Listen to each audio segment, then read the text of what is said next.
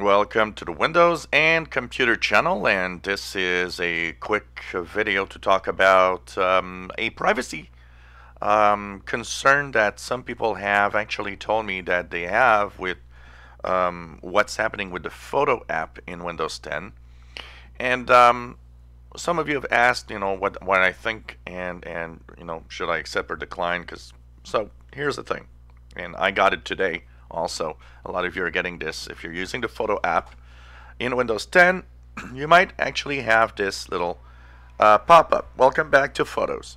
We've enabled new settings for the people feature in our app.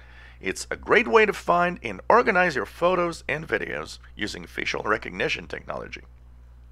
By enabling the people setting you represent that you have all appropriate consents from the people in your photos and videos so of course that is uh, something that is already enforced in many many different uh, platforms on iPhones, on Android um, with the Google Photo app. Basically, this is a um, even if you're on Facebook, Facebook actually applies this. It's a face recognition technology, basically. So the good and the bad. Here's the thing. Of course, the photo app syncs your pictures to the cloud. That means that if you enable this setting, face recognition will now know who is who within your pictures. And who is who is going to be, of course, all sent to the cloud so that everything can be synced. The idea behind this is, of course, to make things easier for you if you're, you know, trying to find pictures of a friend. Well, now you can actually just type that friend's name, and those pictures that have face recognition with your friend on it will all show up. It's actually a great feature to find pictures if you you know if you're like me. I take pictures in uh, pretty much enormous quantity with my phone. So yeah, there's probably thousands, thousands, and thousands of picture in my photo app now, and that are synchronized to the cloud. That makes it easier if I want to find a specific friend, and I personally will enable and accept this setting for that reason. Now, the privacy concern that you might have, and a lot of you have voiced it, is yeah, but you know, how do I know that this isn't used in a bad way? And you know, once again, we can't, we got to trust.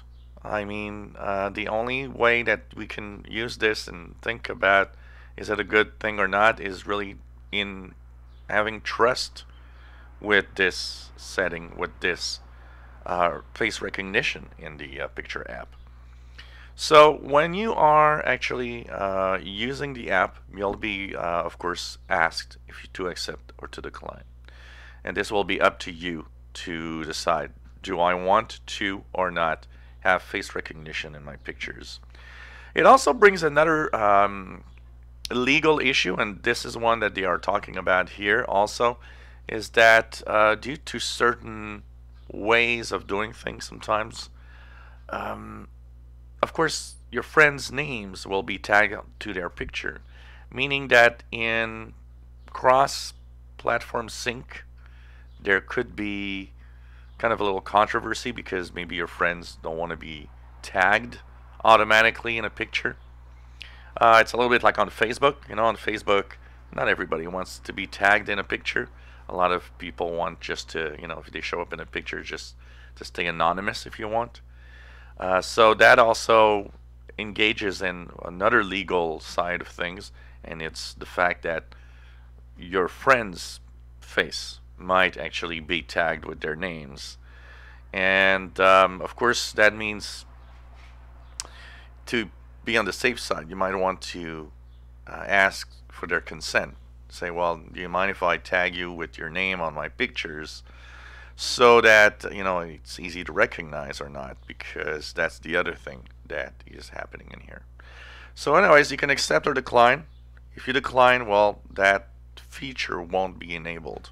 So, you know, your pictures are going to stay pretty much anonymous. If you accept, that means you will be able to tag everything and it will recognize everybody in the pictures uh, when you start tagging the names. So it's up to you to uh, accept or decline. Uh, and of course, everybody, a lot of you out there have been saying, well, what are you going to do And um, personally, I will accept because I find that it's a, a neat way, an easy way to find things. But I totally understand why some people might not be ready for this.